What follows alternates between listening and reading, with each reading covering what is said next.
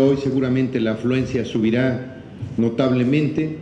Hoy amanecimos aquí en Acapulco en algunas zonas ya al 90%. Mañana aumentará notablemente. En Cihuatanejo, Iztapa también estamos casi al 90%.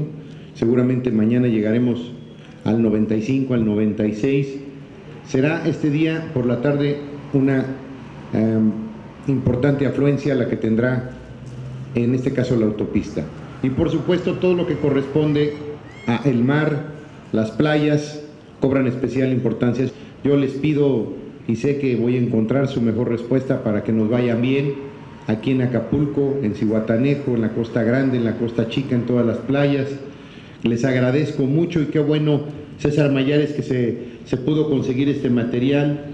Le decía yo a, hace un momento al almirante, pues que es sin duda un material que está en excelentes condiciones y qué bueno que nos dieron a Guerrero una parte de lo que se repartió por parte del Comando Norte.